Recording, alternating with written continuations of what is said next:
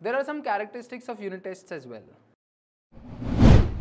Number one, unit test methods are contained in separate classes which are called as test classes specifically created to run test, right? Uh, so again, a test class is specifically created to run tests, nothing else. That's all what it says.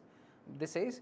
Uh, this is a like this is already highlighted and I want to highlight it back again and again and again whatever uh, whatever code that you're executing inside a test class and whatever DML statements that you're executing inside a test class doesn't really matter.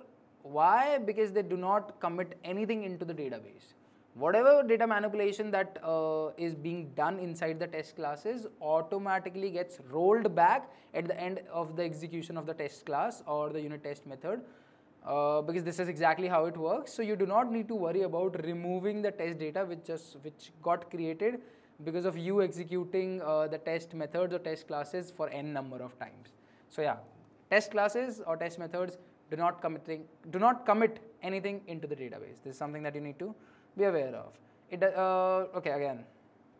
Test classes do not send any emails, and what that means is that uh, yeah, I mean even if there is a code which is written which sends an email, if you are just testing that particular code, uh, it will not send an email, right? So you do not have to worry about uh, getting the emails delivered for n number of times, even while you are just testing it for n number of times.